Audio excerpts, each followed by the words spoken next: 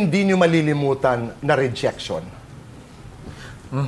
Nung sinabihan ka talaga, no, you're not gonna make it. No, you're wrong for for this. Uh, ikaw, Jay.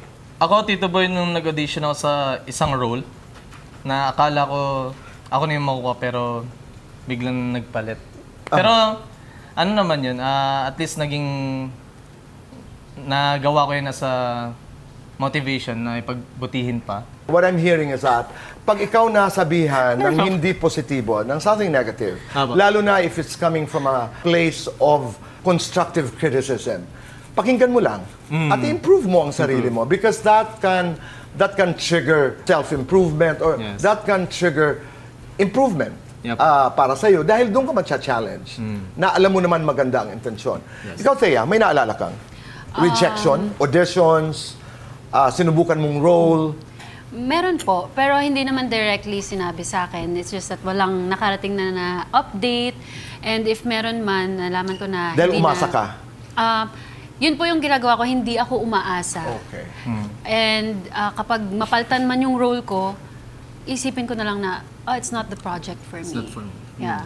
Paano mo natutunan yan? Because that's a good attitude. I think how, ano, how my parents raised me. Out of love, minsan, hindi tayo nagsasabi ng totoo doon sa mga batang mahal natin, pamangkin, anak, na binibigyan natin sila ng ilusyon na ikaw ang pinakamagaling, ikaw ang Yes. pinakamagaling kumanta. Sometimes you have to say to love eh, anak, hanapin natin kung saan ka pinakamagaling.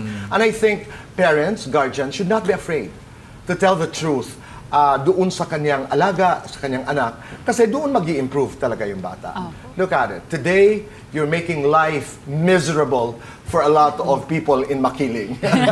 Jay, let's do fast talk. Kaya kasi tapos na yan eh. Wow, wow, wow. Okay. We have two minutes to do this and our time begins now. Jay, malakas ang loob o malakas ang sex appeal? Malakas ang sex appeal. Maganda, matalino. Talino. Twerk, kaldag. Kaldag. May time machine ka, anong panahon ang babalikan mo? Ah, childhood. Bagay na nasa bucket list na di mo pa nagagawa.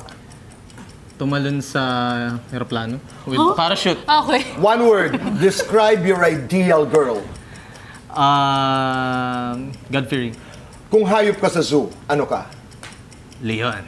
International celebrity na gusto mong maging BFF. Hoy, sino ba? Si Denzel Washington. Pinaka-wild na ginawa nung bata ka. Mabarangay. Magaling o maabilidad? Magaling. Nakailang girlfriends na? Um, less than 10. Kailan ang first kiss? Um, grade 6, Wait. Taong huling nagpaiyak sa'yo? 2019. Parang kilala ko yun. Ah, charis! Ay, hindi. I, I, I mispronounce it. Taong nagpaiyak Ah, sa'yo. taong. Aha. Kalaw taon. Taong. Um, basta yun. Ah, pero, ayun na. Ginagawa ka ba gustong mag-emote? Ah, mag-music. Unang tinitingnan sa babae. Mata. 1 to 10, score mo bilang boyfriend. 9.5. Walang ilaw, walang tubig. Walang ilaw. Dumating sa bahay si Taylor Swift. Ano ang unang gagawin mo? Kakanta kami. Ano ang flirt style ni Jay? Ah. okay. Maraming girls o maraming pera? Maraming pera na lang. Lights on or lights off? Lights on. Happiness or chocolates? Chocolate. Best time for chocolates. Happiness na lang. Best time for happiness. Ah, anytime. Ako si Jay Arcilia. Magiging kontrabida ako kapag Magiging kontrabida ako kapag inapin nyo ang pamilya. mabuhay si Jay Arcilia, mabuhay ang makiling.